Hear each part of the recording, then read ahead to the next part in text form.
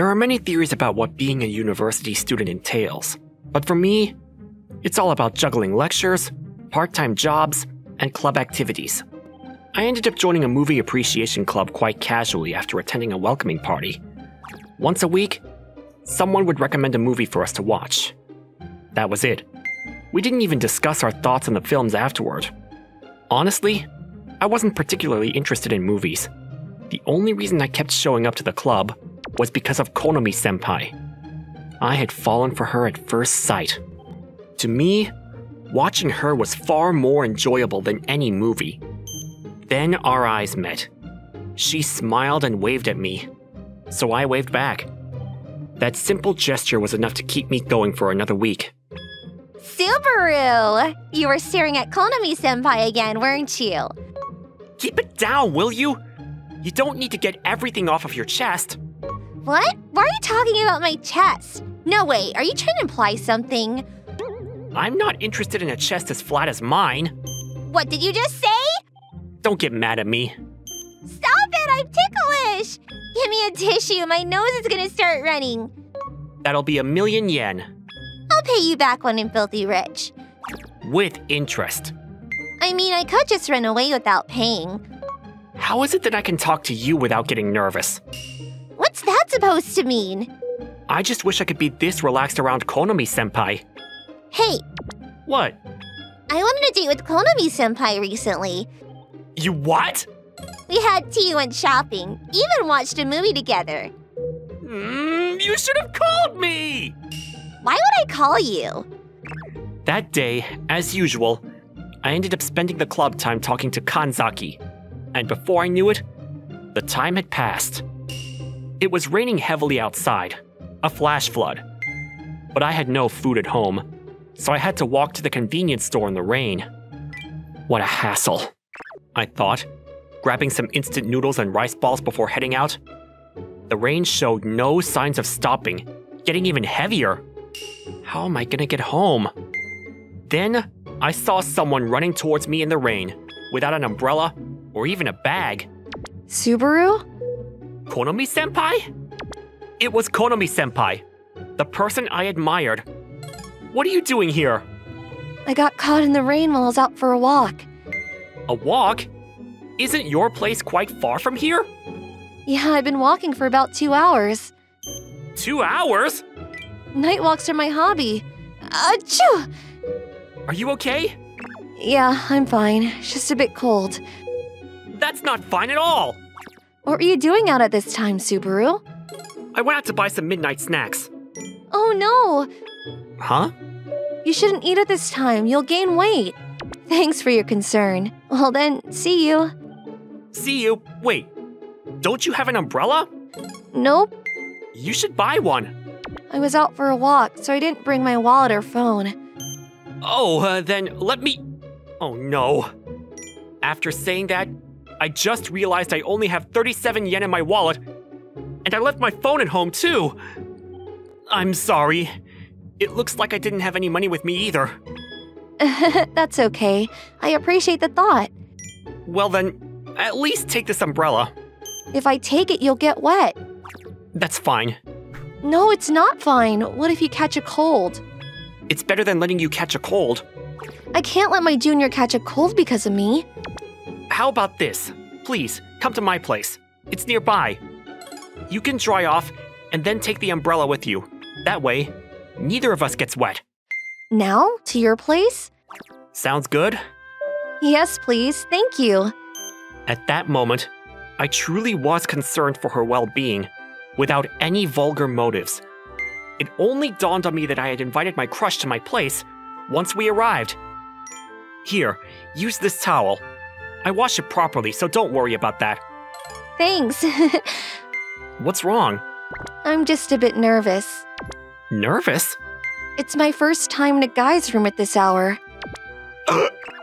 what? Why are you gasping like that? Nothing? I see. You finally realize the situation we're in. I'm sorry. no, I really am thankful. Huh? So, you really were concerned about me, huh? Of course. I had no other intentions. I have more mixed feelings about that statement, but I'll take it. Anyways, this place is super clean. Of course it is! It's a good thing I cleaned up yesterday. Kanzaki had been nagging me to tidy up. In the end, I guess I owe it to her. I'll have to treat her to a juice or something as thanks. Senpai, are you hungry? Just a little. I have some ramen. It'll warm you up. But isn't that your midnight snack? I'll have a rice ball. Then I'll just have half. Just half? Any more than that would be over my calorie limit. But you're slim, Senpai. Being slim for a guy includes being a bit chubby, you know. That's not true. You look great, Senpai. Uh, oh, thank you. Eventually, we decided to share the cup noodles, passing it back and forth after each bite. This tastes good, doesn't it? It's actually my favorite flavor. Though to be honest, I was too nervous to really taste it, considering the nice atmosphere we had. Ah, that was delicious. I'm glad you like it. Could I get a tissue? My nose is starting to run now that I've warmed up. Sure, here you go. Thanks. Just toss it in the trash when you're done. Okay, let's see. Here. Huh? Konomi froze as she looked at the trash can, which was overflowing with tissues. She's a young adult, not a naive little girl, and had a basic understanding of that kind of thing.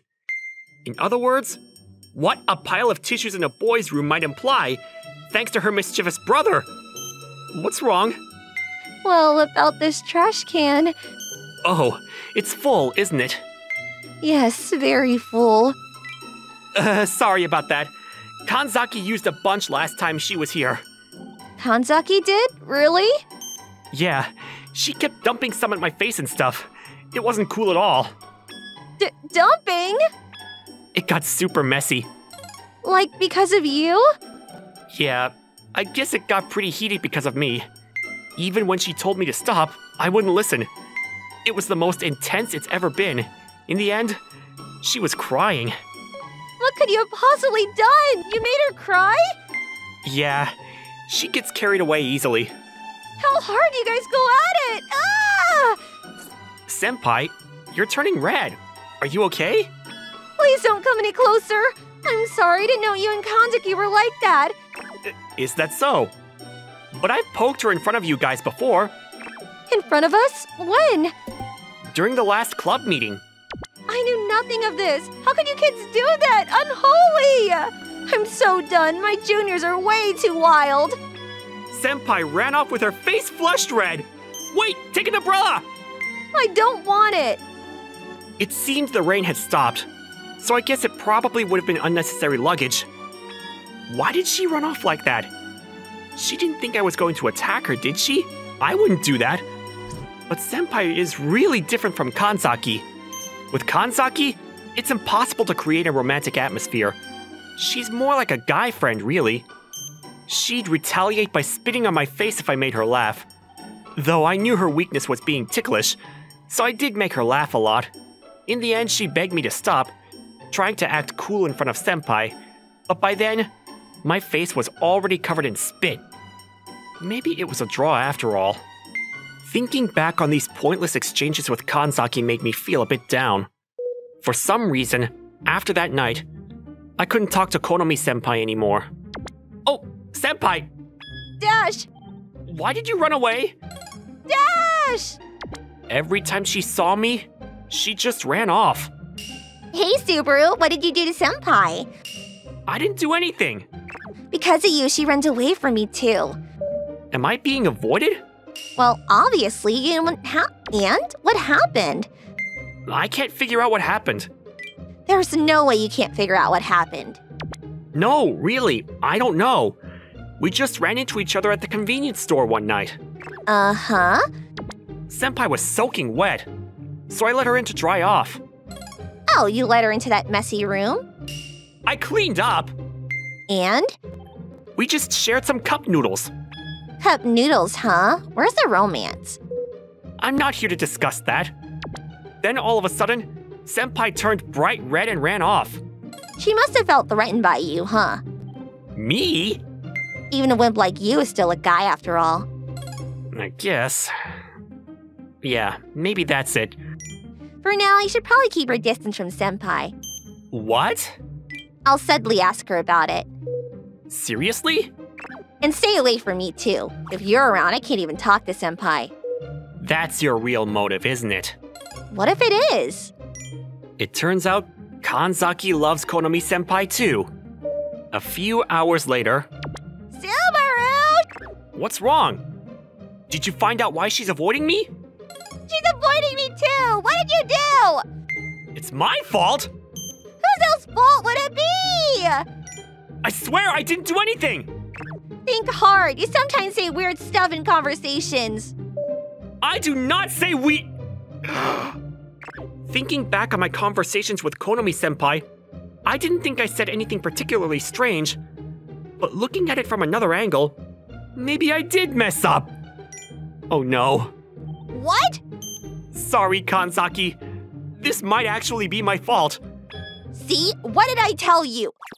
I explained everything, but maybe Senpai thinks Kanzaki and I are dating. You're the worst, ever. Sorry. It seems like she hasn't told anyone else, but if we get banned from the club because of this, there's no chance for closure. You're completely right, ma'am. Whatever, let's go. Where? Wherever Senpai is, obviously we need to clear up this misunderstanding. Ugh, the thought of being with you is just disgusting. You don't have to be that harsh, although I completely agree. And so, we set out to find Senpai and clear things up. Senpai, please listen to us. God! It's all a misunderstanding. Dash! She's so fast! All right, let's chase her. Subaru, she went that way! Leave it to me. Dash! She just crossed me. You idiot! How do you let her get by so easily? What am I supposed to do about it? Dash! She ran away! Senpai, please, just wait. Listen to what we have to say! Why do these two keep chasing me? Because you Keep, running, away! Why are these two juniors chasing me like their lives count on it? It's absolutely terrifying. It's not okay to do stuff in public, but I don't mind what you two do with your relationship and I won't interfere. I'm just a little disappointed, that's all, because I thought Subaru might like me. We made eye contact often, that's all. It was just me getting carried away and misunderstanding, then feeling down about it. Who would have thought Senpai would be so fast? Well, she said walking was her hobby. How would that make her fast? Who knows? Whatever, let's go. Or are you giving up? Of course not. That's what I thought. And so, we started chasing our senior again. We decided it was best to darken our approach. But even together, we couldn't catch Senpai in her super speed mode. So we ended up explaining the situation to another senior and asked him to mediate. This and that, and yeah. It's not funny, you know. Konomi isn't very familiar with these kinds of topics, Yeah, it's cute in its own way, like how she squints during intimate scenes. but still watches closely. Yeah, it's so adorable. Kanzaki, you're getting off track. Right. So, do you think you can help us, Senpai? I mean, it's easy to clear up the misunderstanding through a proper conversation. Great! Is that okay with you, though, Kanzaki? Me? Yeah, I think Senpai's avoiding you because she's shocked by the misunderstanding that you're involved in that way. Yeah, So, clearing it up means clarifying that you're not like that. I don't get it. So, are you okay with having a strong rival to emerge? I hate the thought of that causing tension in the club. Senpai, you're misunderstanding too. We're just friends, really. Really? Yes. I mean, if you're okay with it, then there's nothing stopping you. I'll go ahead and tell Konomi. Thank you so much. And then a few days passed. On our weekly movie appreciation day, we finally got to meet Konomi senpai again. It was after watching the movie with the club members as usual. S- Subaru, Konomi senpai, her face slightly flushed, approached me. can I talk to you for a second? Of course. Come with us, Kanzaki. Why me? What?